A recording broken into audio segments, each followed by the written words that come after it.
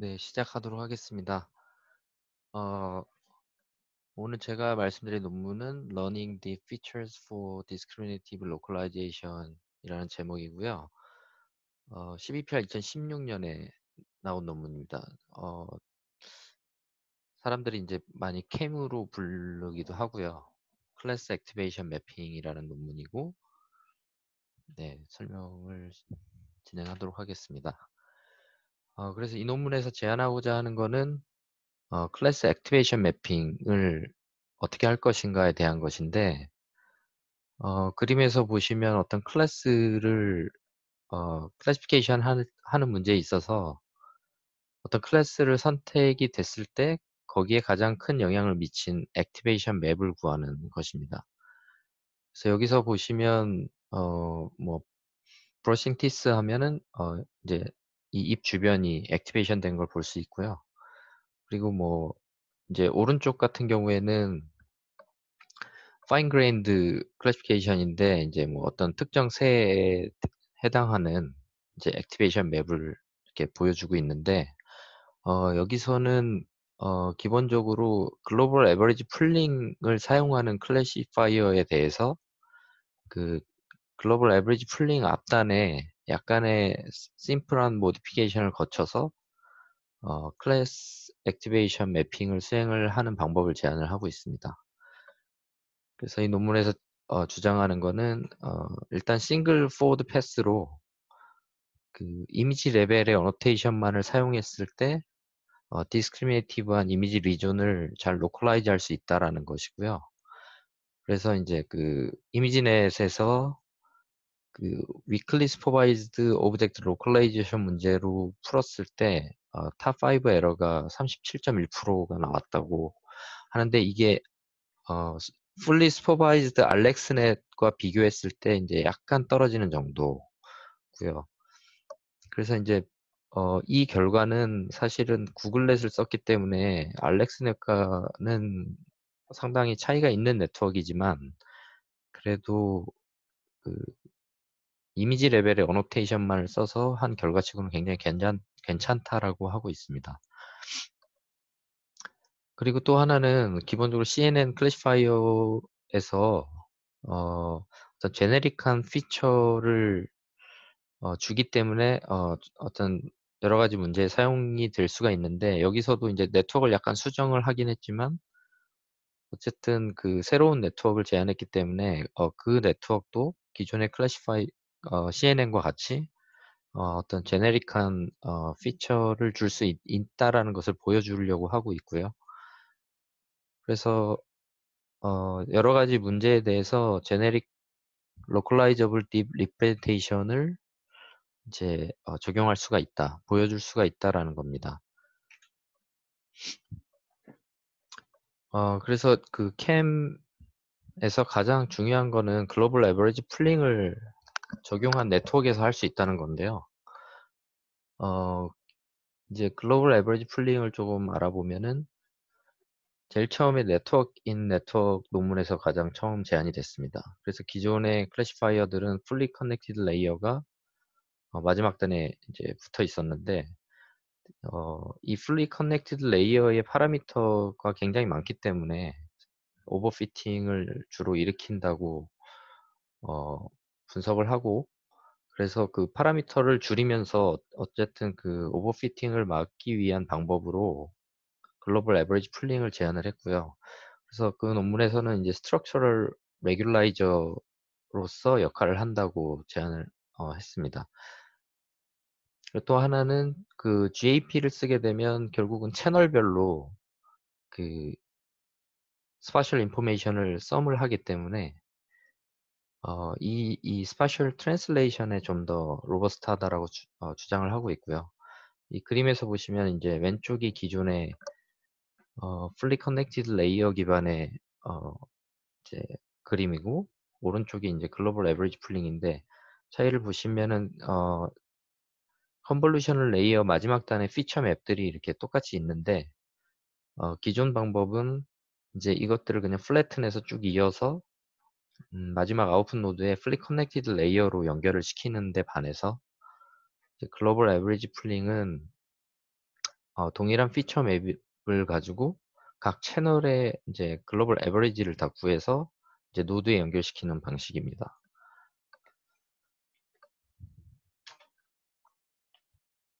어, 그래서 이제 이 논문에서는 한 크게 두 가지 방향으로 related work를 설명을 하고 있는데 어, 첫 번째는 weakly supervised object localization입니다.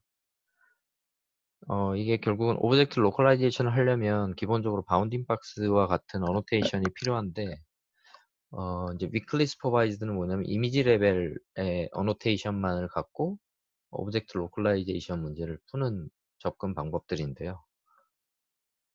어, 그래서 이제 그 기존의 방법들을 보면 이제 뭐 어떤 방법들은 end to end 시스템이 아닌 방법들이 있고 그다음에 어떤 방법은 이제 multiple forward pass를 통해서 이 문제를 푸는 게 있습니다.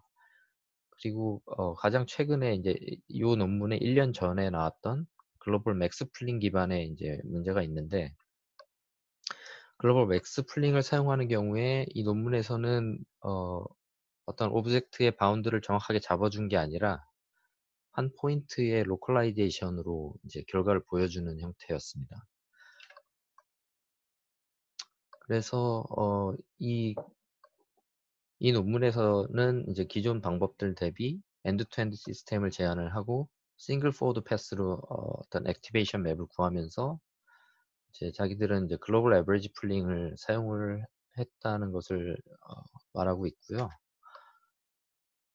음, 근데 이제 global average pooling 자체는 뭐 사실 이 저자들이 제안을 한 게 아니기 때문에 그거 자체를 뭔가 contribution을 보는 건 아니고 어, 어떤 기존보다 정확한 discriminative localization에 적용할 수 있다. CAM이라는 게 그런 observation을 보여준 게 이제 contribution이라고 주장을 하고 있습니다. 어, 또 하나의 연관된 어, 파트로는 이제 visualizing CNN 네트워크인데 어, 뭐 아래 그림에서 보시는 2014년 ECCV 논문과 같이 어, 어떤 CNN을 좀 더 어, 뭐 해석을 하거나 좀 더 visualize 하려는 노력들이 있었는데 이제 그러한 경우에 어, 이전의 네트워크들은 마찬가지로 fully connected layer를 거치면서 마지막 단까지 어떤 그런 localization 능력이나 아니면 activation map을 완벽하게 얻지는 못하는 문제가 있다라고 얘기를 하고 있습니다. 이게 뭐 실제로 굉장히 큰 부분인지는 모르겠지만 어쨌든 어, 하나의 단점으로 주장을 하고 있습니다. 그래서 제안된 방법은 global average pooling을 사용하기 하기 때문에 어, 일단 classification performance도 유지하면서 네트워크를 처음부터 끝까지 이해가 가능하다. 뭔가 visualize도 어, 마지막 단까지 다 할 수 있고 뭐 그런 뜻으로 이제 어, 이해를 하고 있고요.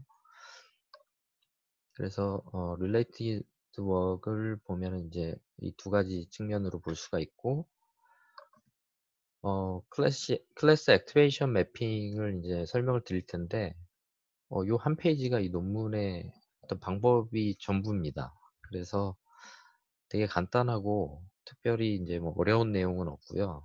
요 뒷부분부터는 대부분 실험에 의한 어, 내용이고요. 어, 그래서 그림에서 보시면 이제 하나의 네트워크 CNN 구조가 있고요. 거기에 어떤 테스트 이미지가 들어가면 이제 convolution layer를 몇 단계 거치게 되고 마지막에 이제 그 feature map이 나오죠. 그 피처 맵을 스몰 fk라고 봤을 때 k가 이제 채널이고요. 그래서 요 각 그 spatial 그, 그 좌표 값들을 싹 더하면 이제 large fk가 나오는데 그게 이제 요 하나의 값입니다. 그래서 average pooling을 한 거고요. 그 다음에 마지막 단에는 이제 softmax를 거치게 되는데 거기에 이제 어 마지막 단에 들어가는 게 SC인데 SC는 클래스가 요 C로 정해졌을 때 요 앞단에 FK 들과의 weighted sum으로 나타나는데 그 weight가 이제 그 각 채널에 대한 클래스 C가 주어졌을 때 weight가 되고요. 어 그래서 결국은 SC는 요렇게 표현이 되는데 요걸 다시 정리를 하면 어 이런 식으로 어 정리가 되고 여기서 이 지금 요 표시가 된 요 부분이 결국은 class activation map이라는 거고요. 그게 MC X, Y로 돼 있는데 이걸 잘 보면 이 밑에 그림에서 보시면 이 각 K 채널의 이미지들이고요. 거기에 요 뒷단에 한 클래스에 연결된 weight들이 이렇게 주어지게 됩니다. 학습을 통해서 얻어지죠. weight는. 그러면 요 weight와 feature map들의 weighted sum으로 MC가 표현이 된다는 것입니다. 그래서 이제 논문에서는 이 MC를 결국은 그 클래스 C가 선택이 되도록 이미지의 어떤 classification을 어 하게 되는 이제 각 위치에서의 이 activation의 importance라고 어 정의를 하고 있습니다.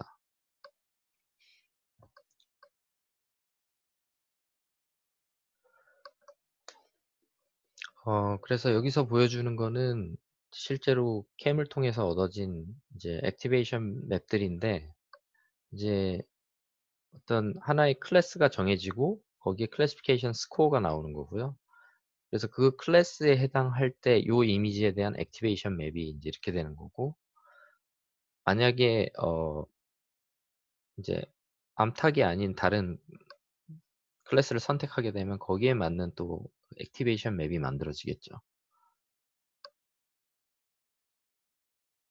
그게 이제 이 내용인데 어 왼쪽에 상단의 그림이 이제 어 ground truth로 돔이라는 클래스를 주, 어, 주었습니다. 근데 이제 실제로는 이제 palace가 가장 높게 나왔고 그 다음에 이제 이렇게 순서대로 쭉 나온 건데 거기에 각각에 해당되는 activation map을 구해보면 어 그러니까 돔을 보시면은 이제 요 상단만 이렇게 activation 된 걸 보실 수가 있는데 결국은 각 클래스마다 그 클래스를 선택하게 된 가장 영향을 많이 준 어 그 위치가 activation 되는 걸 볼 수 activate 되는 걸 볼 수 있습니다.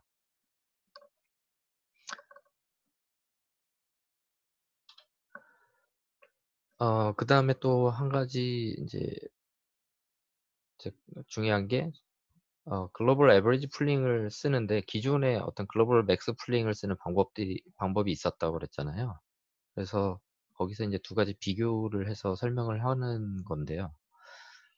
어 논문에서는 인제 결국은 그 GAP가 결국은 object의 extent를 좀 더 잘 표현하도록 이제 어 영향을 미친다라고 얘기를 하고 있고요.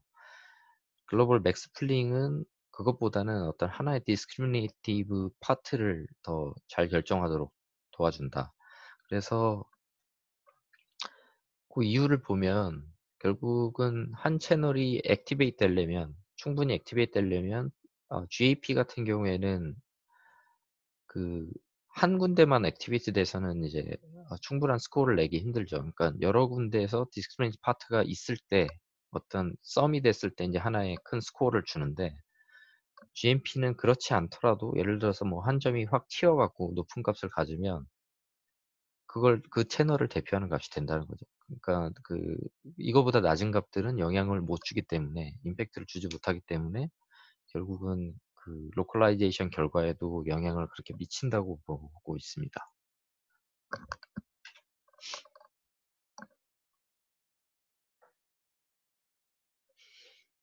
그래서 이제 실험을 몇 가지 이제 타이틀로 진행을 했는데 어 먼저 weakly supervised object localization 문제에 대해서 말씀을 먼저 드리겠습니다.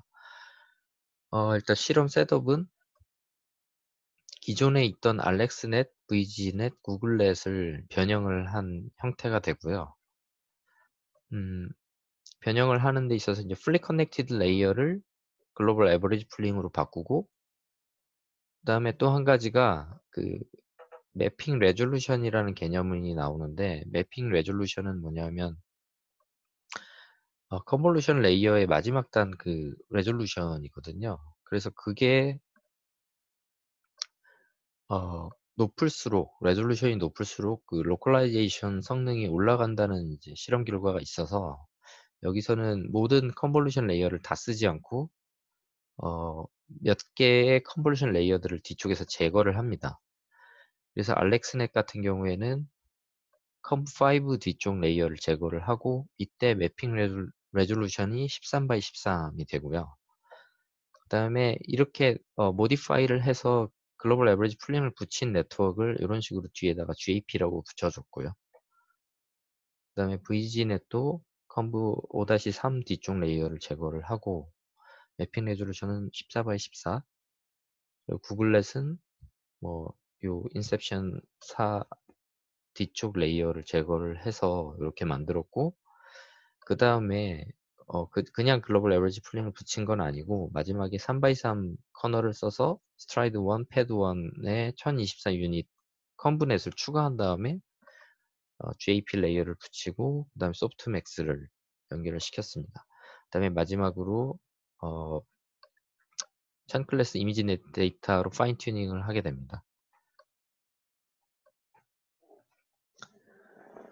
어, 그래서 이제 실험은 어, classification 성능도 비교를 하고 localization 성능도 비교를 하는데 어, 여기서 이제 네트워크를 수정을 했기 때문에 이 수정으로 인해서 classification 성능이 상당히 많이 떨어지게 되면 사실 의미가 없잖아요. 그래서 아마도 저자들이 이 실험을 해서 보여준 것 같고 그래서 classification은 오리지널 알렉스넷하고 VGNet, 구글넷, 그 다음에 네트워크인 네트워크하고 비교를 했습니다. localization은 어, 오리지널 GoogLeNet하고 어, Network in Network하고 기존에 이제 어, 그러니까 그 여기서 제, 제안하는 CAM 방식이 아닌 그 backpropagation에서 이렇게 그 saliency map을 만들어서 activation map을 구하는 그런 방식이 있었는데 그 방법들하고 비교를 하고 그다음에 어 localization은 이제 CAM과 마찬가지로 weakly supervised 방식하고도 비교를 하지만 이제 어 fully supervised method하고도 같이 비교를 하는 결과가 있습니다. 그리고 앞에서 설명드린 바와 같이 global average pooling하고 global max pooling 방식도 같이 비교를 하게 됩니다.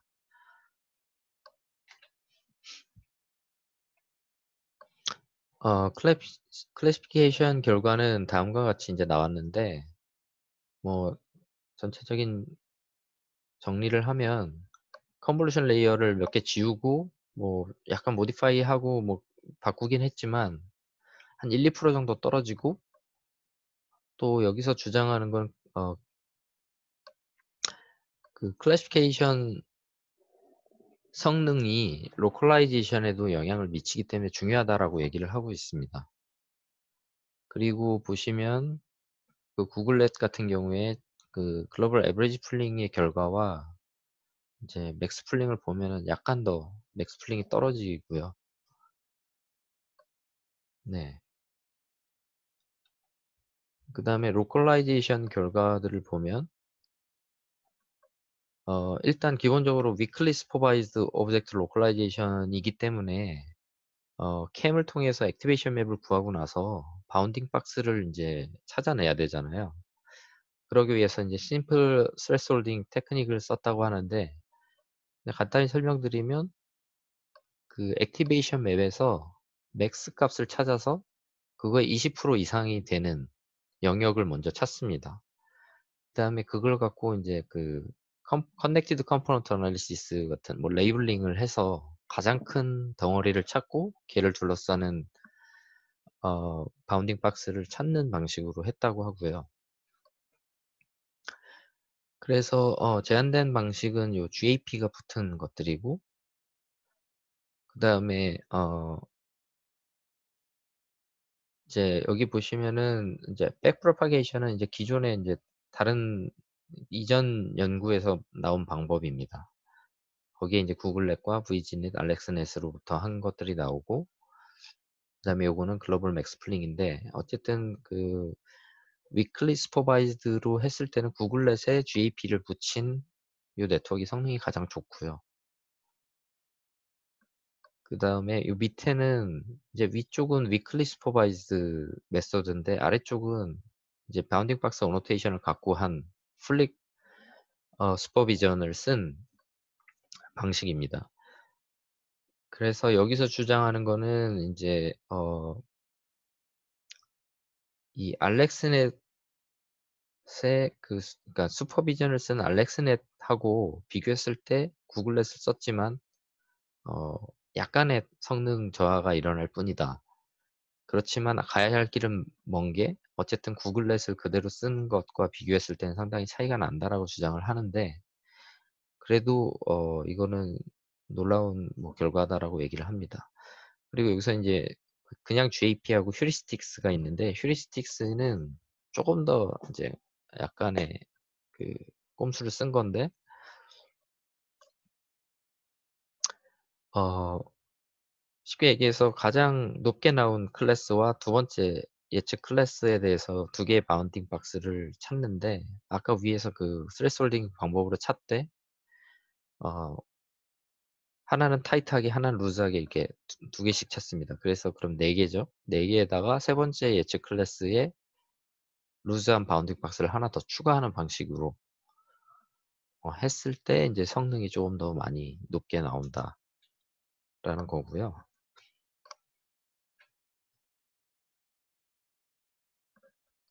어, 지금 근데 어, 잘 진행이 되고 있는 건가요? 잘 되고 있는 것 같아요. 예, 제가 혼자 막 떠들고 있는 것 같아서. 네, 네. 그래서 이거는 이제 그 실험에 대한 결과들을 보여주는 건데, 이 뒷단이 이제 백프로파게이션을 통해서 어, 그 살리언시 맵을 만든 방식으로 한 결과고요. 앞쪽에 이제 제한된 방법들하고 비교했을 때는 상대적으로 좀 어, 안 좋아 보이죠. 그리고 어, 요 왼쪽에 아래쪽에 있는 그림의 바운딩 박스는 이제 어, A는 제한된 방법으로 한 것들 구글렛에 GAP를 붙여서 했을 때 어, green box가 ground truth고 red box가 이제 어, 제한된 방법으로 찾은 거고요. 오른쪽은 B는 위쪽이 이제 GoogLeNet으로 찾은 거고 아래쪽은 이제 backpropagation 요, 요 방식대로 찾은 거의 결과입니다. 그래서 조금 더 이제 어, 차이가 나고 근데 이거 같은 경우에는 뭐 모르겠어요. 결과가 그렇게 어, 원하는 결과가 나온 것 같지는 않지만 어쨌든 그 activation map을 보면 좀 더 확실하게 좀 선택이 되는 걸 볼 수 있는 것 같습니다.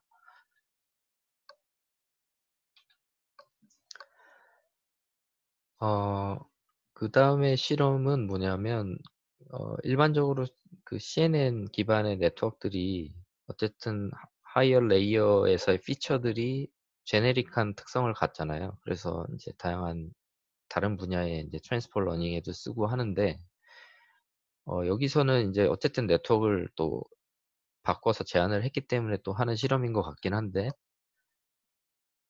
어, 직접 그 훈련에 트레이닝에 쓰지 않은 dataset에 대해서 기존에 이제 학습된 네트워크에서 뽑은 feature map을 갖고 어, classification을 한 결과들을 보여줍니다. classification과 activation map을 구한 결과들을 보여줍니다. 그래서 얼마나 이제 generic한 특성들이 유지가 되는지 이걸 보여주는 건데 뭐 일단 성능은 각 dataset에 대해서 이렇게 accuracy를 보여주고요. 그 다음에 이제 activation map을 이렇게 구해봤더니 어 뭐 실제로 이 문제 트레이닝 한 건 아니지만 어느 정도 원하는 결과가 잘 나온다 라는 걸 보여주는 실험입니다. 그래서 여기서 클래시파이어는 리니어 SVM을 씁니다.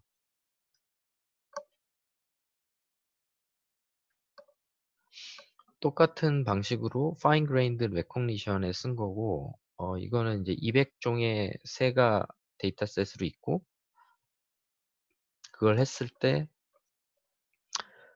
어, 이제 localization을 얼마나 잘하나를 본 건데 어, 이제 왼쪽에 보시면 구글렛 GAP에다가 풀 이미지는 정말 그 아무 정보 없이 그냥 이미지 전체를 놓고 activation map을 구해서 이제 localization 한 결과고요. 두 번째는 이제 어 앞쪽에서 설명드렸던 thresholding 기법을 써서 bounding box를 잡은 다음에 그게 이제 crop으로 된 거고 crop된 영역 안에서 feature map을 뽑아서 이제 했을 때 결과입니다. 그리고 세 번째는 이제 실제로 bounding box가 주어졌을 때 그 안에 feature map만 갖고 뭔가 이제 classification을 했을 때 결과고요. 그다음에 아래쪽 방법들은 이제 기존의 다른 이제 그 bounding box annotation을 써서 한 결과들하고 비교를 한 건데 어 일단 그, 그 bounding box를 같이 썼을 때는 이 방법보다는 좀 떨어지긴 하는데 기본적으로 안 쓴 경우에 다른 bounding box를 썼을 때 비교해서 별로 손색이 없는 거죠. 그래서 결과가 상당히 어쨌든 그 generic한 localization에도 잘 맞는다라고 보여주고 있고 어, 여기 보시면 빨간색 박스들이 이제 실제로 이 activation map으로부터 찾아낸 박, 박스들입니다.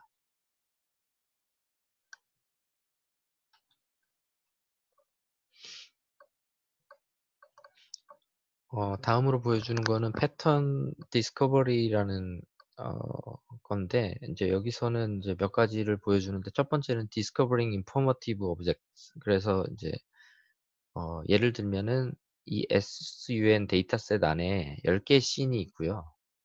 그러니까 카테고리가 10개인데 예를 들면 dining room 안에 어, 실제로 이제 가장 많이 나타나는 그 object를 이렇게 표시한 거고요. 6개를. 그 다음에 요 dining room 한 클래스와 나머지 9개 클래스를 갖고 어, linear SVM을 해서 그때 나온 CAM을 갖고 가장 activation이 많이 된 object를 쭉 리스트를 뽑은 게 어, 아래 informative object입니다.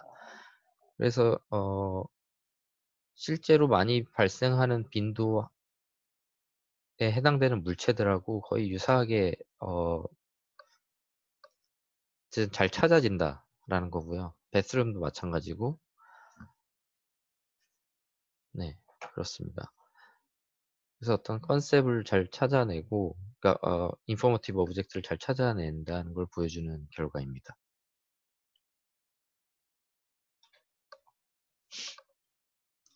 어, 그 다음에 이거는 이제 이미지 레벨로 annotation을 주고 classification을 했을 때 어떤 concept에 대한 activation도 잘 된다라는 걸 보여주는 건데 뭐 잘 보시면 이제 mirror in lake에서 activation 되는 부분이 이렇게 어, 물에 반사되는 부분이 요 concept이 이제 잘 activation 된 거죠. 그리고 이제 이거는 뭐 어, 창문 바깥쪽을 한 건데 네. 그래서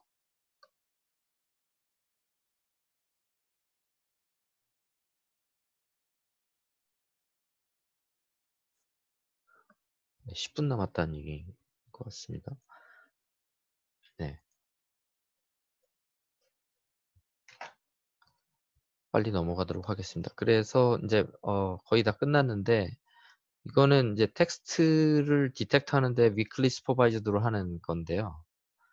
결국은 이제 뭔가 positive에다가는 텍스트가 포함된 영상들을 넣고 negative에는 텍스트가 없는 다른 영상들을 넣어서 그냥 아, classification을 하고 어, CAM을 구해보면 실제로 요 글씨 텍스트가 있는 데서 activation이 잘 되는 걸 볼 수 있습니다. 이거는 이제 그 visual QA 문제에서 어, 뭐 기존에 있던 방법에다가 얘네 네트워크를 넣어서 돌렸더니 answer에 잘 이 activation이 된다 라는 걸 보여주는 거고요. 그 다음에 마지막은 어, 이것도 이제 어, global average pooling을 쓰기 때문에 아마 가능한 것 같은데 어, 어떤 클래스가 선택됐을 때 그 클래스에 가장 영향을 많이 미친 이미지 top 9하고 그 다음에 거기에 각각 activation 된 걸 이렇게 표시한 건데 기존에는 어, 각 layer마다 이제 가장 많이 영향을 준 그 이미지를 추출은 가능했는데 이렇게 클래스별로 가능, 하는 거는 이제 안 됐던 거고요. 이 논문에서는 이제 그게 가능하다. 그래서 class specific unit이라는 용어로 어, 설명을 하고 있습니다. 네, 발표는 여기까지고요. 생각보다 좀 오래 걸린 것 같은데 네, 질문이 있으시면은 네, 질문해 주시기 바랍니다.